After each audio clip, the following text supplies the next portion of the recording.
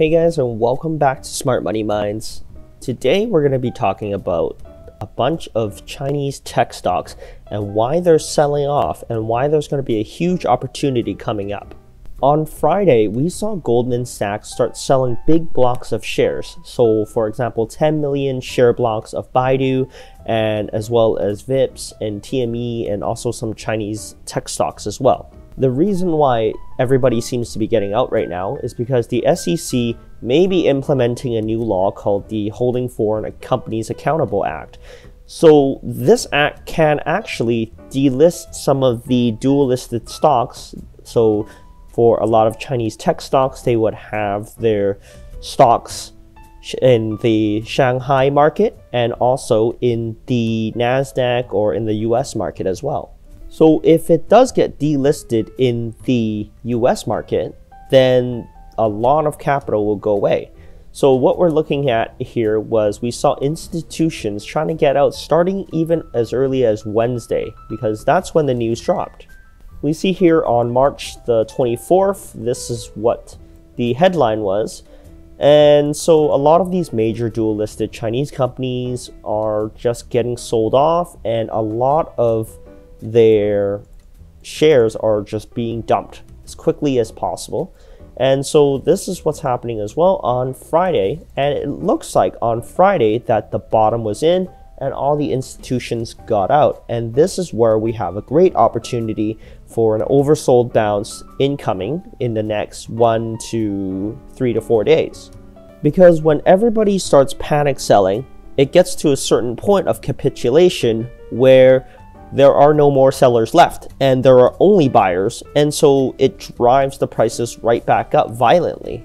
And that's what we're seeing here because Baidu, Tencent, Vips, IQ, GSX, all these stocks were getting sold off. They were down 10. This Baidu was down 14, Tencent down 20. All these names were dropping multiple percentage points. And this is where it leads to a very classic pattern where it is the volume climax day and it's a doji candlestick.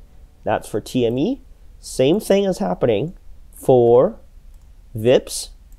Huge doji candle, huge volume climax. Baidu, a little bit different.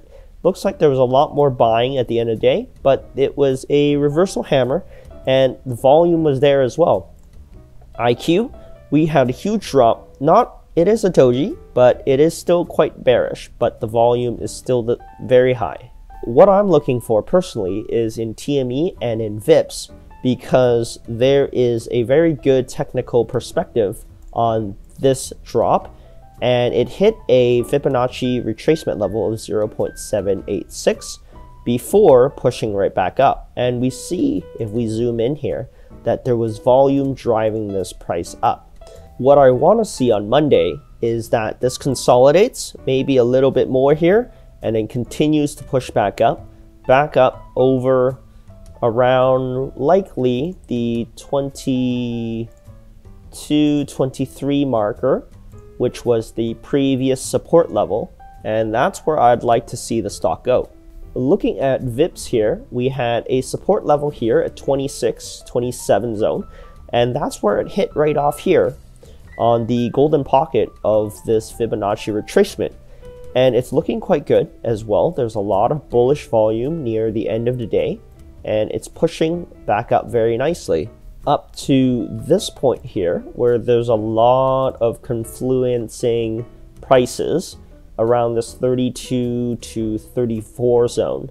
So that's where we're looking at here, and I'm seeing that even from here, if we push back up, that's another 8% move, and that's a bare minimum.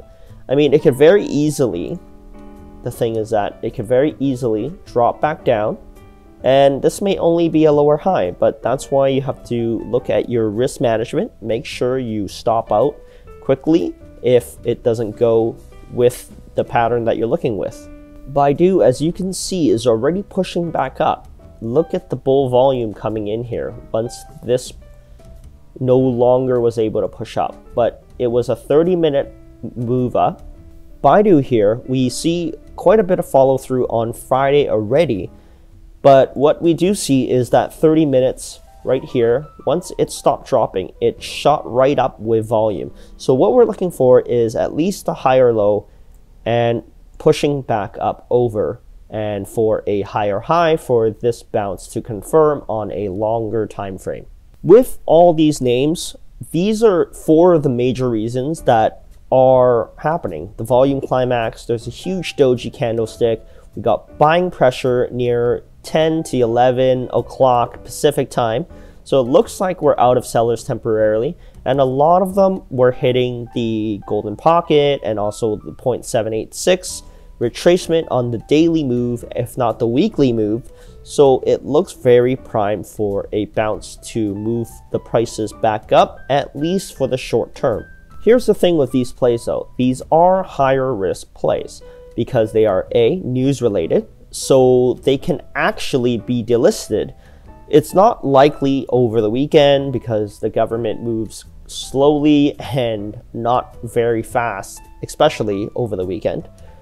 And this could also be just a lower high. It could be just a short-term uptrend because that's not confirmed yet. The short-term uptrend is not confirmed yet. As you saw in Baidu, there was a 30-minute bull push, but there was no higher low to higher high yet. So we really need to see for Monday to confirm these patterns, to have the higher low and have some good bullish volume pushing back up so that it looks better on the longer term time frame, the four hour, so that it looks like it is bouncing properly. And it is definitely okay to get in a little late for smaller gains. For example, if we look at VIPs, we have the 8 EMA all the way up here at 38. Okay, so let's say we do a reverse fib here. So from 46 to right down in this range here, 25 zone.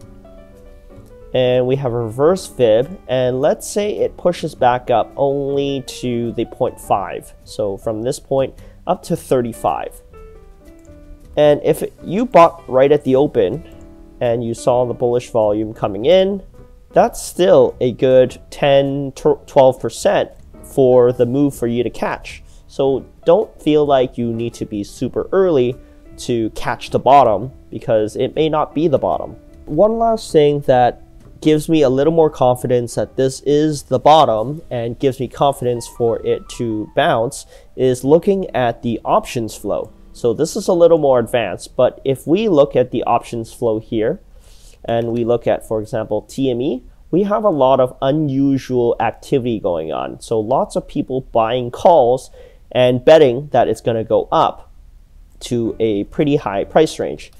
GSX, we have a couple here we have Baidu. Look at the buying near the end of day. All these calls were coming in as a sweep, so people were pretty much going market buy on these options. These are the big money, big institutions that have way more data than the rest of us, and they are buying $200,000 almost a million dollars here in calls. So they know something that we don't know. So it's okay to follow these guys, and that's where we make the money when they make money. In the comments below, let me know what stocks you've been playing in this choppy market. This is one of the more confident plays that I've seen lately. But uh, let me know what you've been playing. Uh, if you enjoy these videos, make sure you hit that like button, subscribe to my channel, and we'll see you guys next time for more stock opportunities.